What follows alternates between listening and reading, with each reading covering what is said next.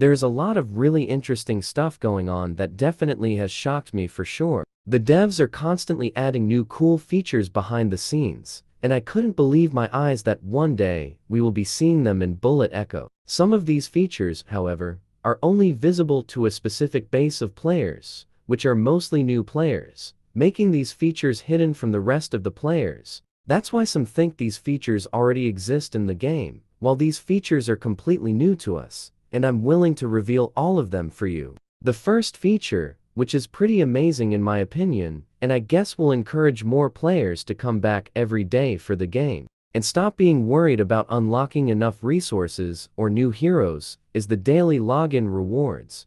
With this feature, you will get the chance to get one free reward daily for 7 days, like a hero. In addition to a whole bunch of cosmetic items, including some coins and even 7 days motivation of a random hero to help you win more battles. The feature might appear only if you have been inactive for so long, because I'm not sure yet how it works exactly, but still, it is perfect. The next feature is directed especially for players who like to spend money on the game. Even though I think it's a bit overrated because it is supposed to help you save some of your money. But there's no difference between purchasing bucks from the in-game shop and bucks from the piggy bank. I'm not sure if this feature is still rolling out, but it should offer a discount since you got to play and win first place to fill your bank with bucks so you can finally be able to use it. Moving next to a new feature which I believe is related to winning streaks. It's a small fire symbol next to your profile with the number of wins.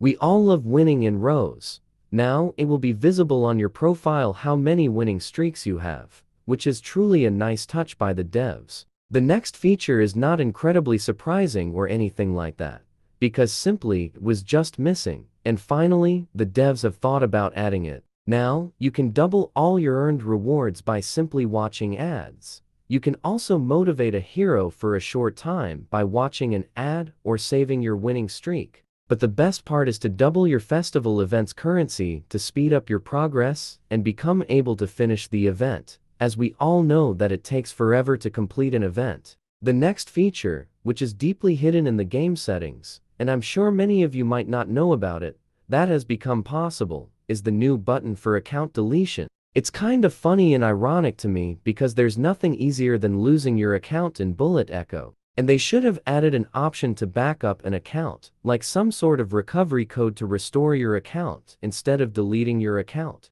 I barely find a use in my mind for the account deleting. Moving next to the Lucky Spinner, this is one of the few hidden features that is finally coming out to the light. It's my favorite feature as it is full of cheering rewards like a surprise box. The lucky spinner can be found now in your black market in the last section. You can have a free spin for about every 4 hours, and you can win bucks, resources in addition to hero skins, which is pretty awesome. Let me know in the comments which one of these new features you think is the most needed.